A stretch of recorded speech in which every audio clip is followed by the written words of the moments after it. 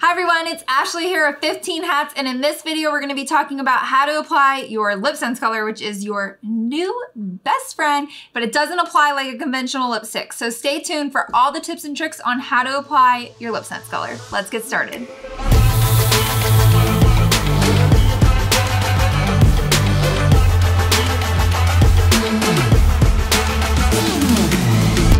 First getting ready to apply your LipSense color, you're going to want to take your towel or paper towel or whatever you're using to really dry off your lips, including the inner portion of your lips so that the color can really adhere to your lips. So make sure you dry that all off clean and then you're going to take your LipSense tube and shake it up so that way that ball is really bouncing around and stirring up those pigments so you're going to get a nice even coating of your pigment color.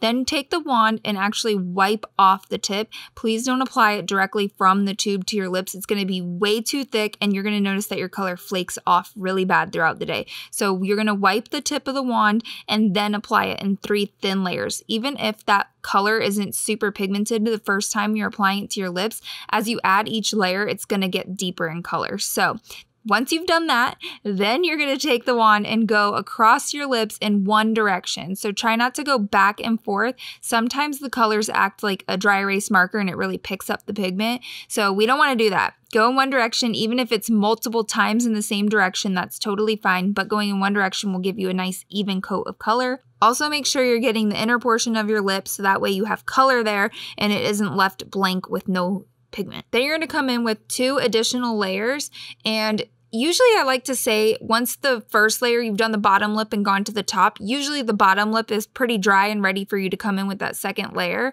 You'll play it by ear. If you touch it, you can tell if it's tacky. So, most times though, it'll be ready to go and you can do your third layer.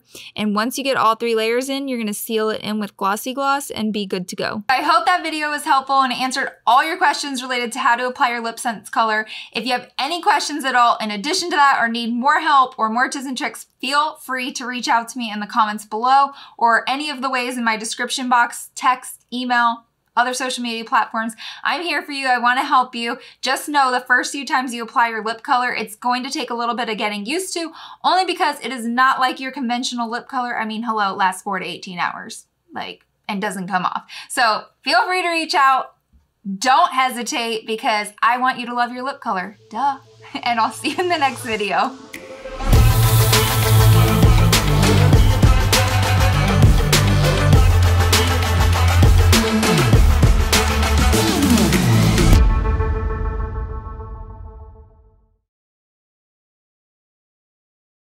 Quiet on the set, please.